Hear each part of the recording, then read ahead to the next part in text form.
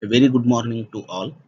Myself, Dr. Iresh Bhavi, working as Associate Professor in the Department of Mechanical Engineering, BLDES College of Engineering and Technology, Vijaypur.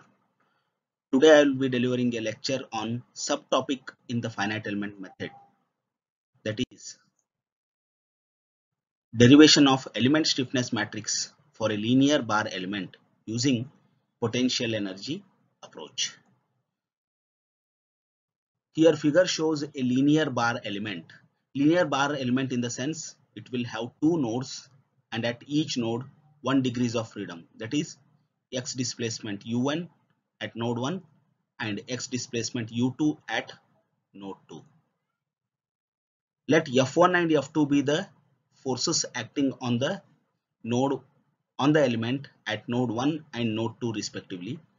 Due to these forces let the displacement produced at node 1 be say u1 and at node 2 we say u2 let le be the length of the element and let a be the cross sectional area of the element and e be the young's modulus of the material of the element. Then the equilibrium equation for this element can be written in the matrix form as k into u is equal to f where K is a element stiffness matrix for this linear bar element and U is the uh, nodal displacement vector. Vector in the sense a vector is a matrix which is having either a single row or a single column. So U is a displacement vector, nodal displacement vector and F is the nodal force vector.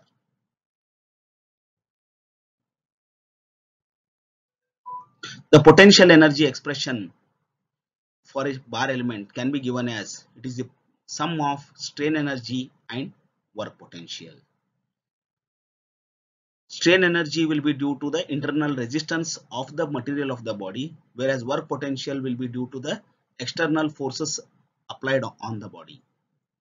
Hence the strain energy expression for a bar element is given as half 0 to L AE du by dx bracket square dx whereas work potential is given as minus of f1 u1 minus of f2 u2 so work potential is the product of the force acting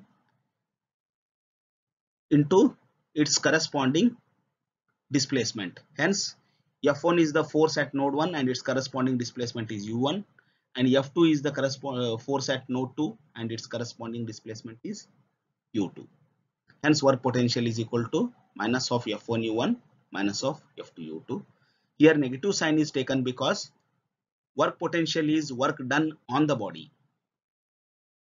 Thus the total potential energy expression can be given as the sum of strain energy plus work potential. Now let us assume a linear polynomial displacement function because as it is a linear bar element hence the displacement model assumed for this bar element will be a linear polynomial. Hence we have to assume a linear polynomial for the displacement function. That is u is equal to a naught plus a1x and this uh, polynomial displacement function assumed should satisfy the boundary conditions. That is at x is equal to 0 that is at node 1 the displacement u is equal to u1 substituting this in equation 3 we get a0 is equal to u1 similarly at node 2 that is at x is equal to l u is equal to u2 substituting these in equation 3 we get a1 is equal to u2 minus u1 by le Therefore, substituting the values of A0 and A1 in equation 3, the equation 3 becomes U is equal to U1 plus U2 minus U1 by LE into X. Differentiating this with respect to X, we get du by dx is equal to U2 minus U1 by LE. Substituting the value of du by dx in the potential energy expression pi, that is in equation 2, we get pi is equal to half 0 to le ae u2 minus u1 by le bracket square into dx minus of into bracket f1 u1 plus f2 u2.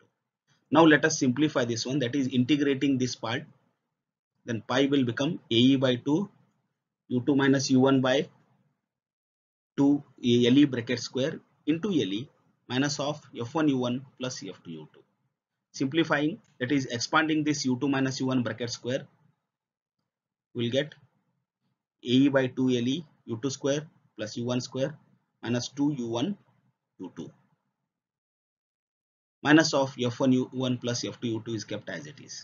Then in order to obtain the equilibrium of the system that is from the principle of minimum potential energy the potential energy should be minimized.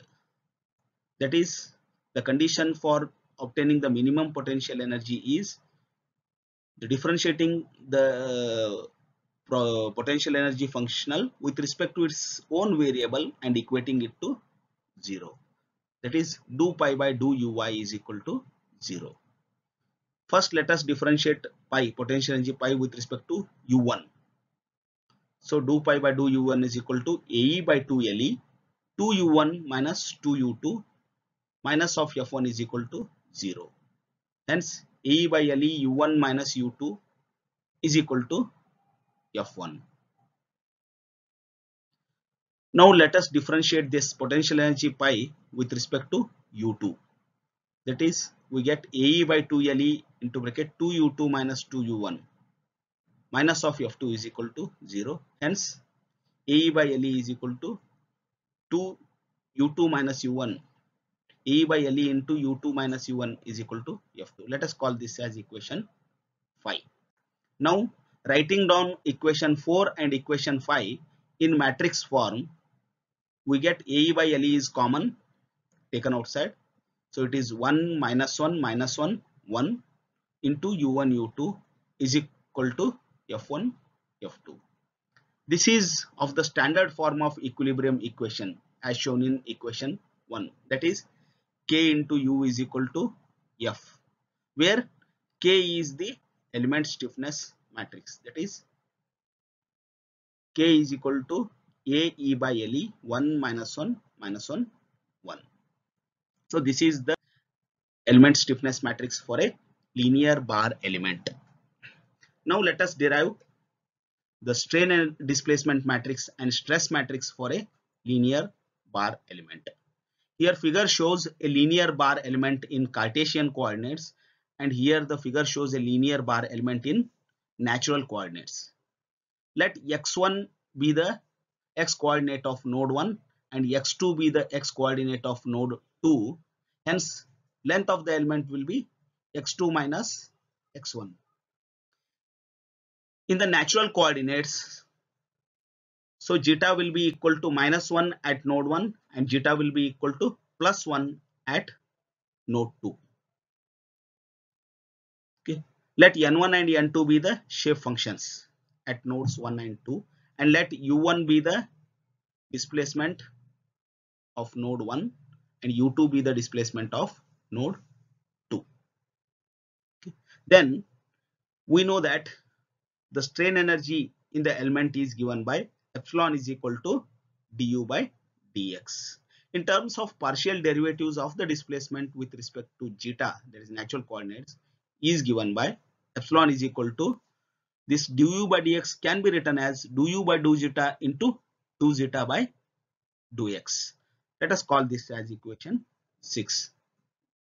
But we know that the field variable in terms of nodal variables and shape functions can be given as the field variable or the displacement u is equal to n1 u1 plus n2 u2 where n1 is equal to 1 minus zeta by 2 and n2 is equal to 1 plus zeta by 2 are the shape functions for the linear bar element which we have already dis uh, derived in the previous classes. Thus substituting the value of n1 and n2 in equation 6 we get u is equal to 1 minus zeta by 2 into u1 plus 1 plus zeta by 2 into u2. Now let us differentiate this u with respect to zeta once we will get minus u1 by 2 plus u2 by 2 that is minus u1 plus u2 by 2 Let us call this as equation 7. Now we know that the relation between Cartesian coordinate x and the natural coordinate zeta is given by zeta is equal to 2 times of x minus x1 by x2 minus x1 minus 1.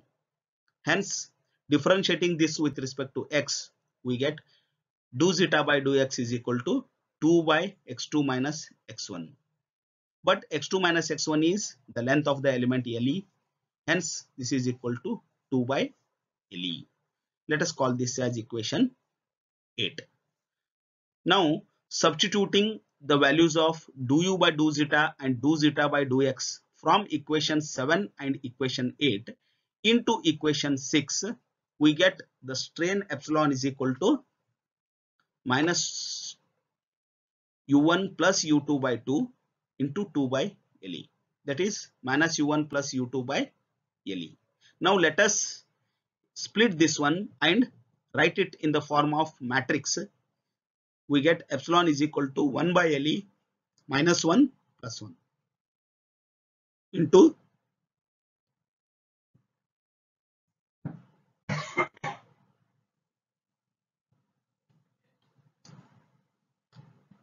u1 u2 hence in the matrix form it can be written as epsilon is equal to b into u where b is this part. That is 1 by le minus 1 1 and u you already know that it is a nodal displacement vector. See here. Where b is the is called as the strain displacement matrix. That is given by 1 by le minus 1 plus 1. It is called strain displacement matrix because B is relating strains epsilon with the displacement U. Hence, it is called as strain displacement matrix. Now, stress matrix can be given from the Hooke's law that we know that from Hooke's law stress is directly proportional to strain that is sigma is stress sigma is equal to E into epsilon where E is the Young's modulus of the material of the element. And stress matrix can be given as sigma is equal to E into B into U because just now we have derived that the strain epsilon is equal to product of the matrices B and the nodal displacement vector U. Hence the stress matrix sigma is equal to E into B into U. Okay. So this is the derivation of the stress uh, strain displacement matrix and stress matrix for a linear bar element. Thank you for patient hearing. Thank you.